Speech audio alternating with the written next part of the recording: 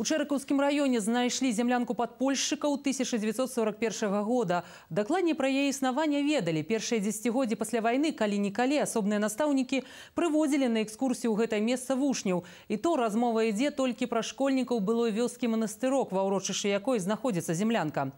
Некалькі гадоў таму пра яе зноў згадалі і вырашылі стварыць турыстычную сцежку. У гэтым лесе знаходзіцца сапраўдная зямлянка часоў вялікай айчыннай вайны. Знайсці яе не вельмі проста. Пешу прыйшлося прайсці амаль кіламетр і вось ён дах зямлянкі падпольшчыкаў Чэрыкаўшчыны. Зямлянка служыла штабам падпольшчыкаў 4 месяцы 23 кастрычніка 1941 года гітлераўцы блакіравалі асобны атрад у баі, загінула кіраўнік камсамольцаў 19гадовая Надзея Слюнкіна. Яе фотаздымак запрасілі з цэнтральнага архіва ўзброеных сіл России.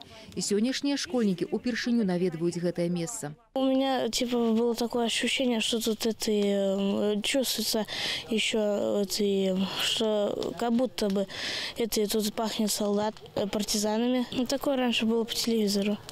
Не один раз ветераны заменяли тут трухлявыя ад часу дошки на новыя.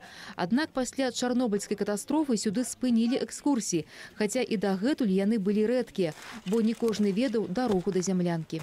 Ой, я тут не, не сильно и знаю это место. Я здесь э, в соседней деревне работаю в школе в 71-72 году. Ну, говорили, что есть эта землянка, а сам я тут первый раз. Среди местных э, особо и не знают. Ну, ходили, я помню, э, молодой еще был. Учитель начальных классов, я помню, водил сюда детей. Чэрыкаўскі раён выйграў грант праан за распрацоўку эколага-краязнаўчай экспедыцыі. У маршруце шэраг археалагічных помнікаў, партызанская зямлянка і крыніца ля яе. Цяпер сюды прыязджаюць школьнікі, каб навесці парадак. У нас будет благоустроена дорога. Вот мы сегодня с вами пробирались по таким чащобам. Ну, будет прорублена тропинка, будут установлены мемориальные таблички, указатели, чтобы любой и каждый мог знать, как туда пройти, в эту землянку.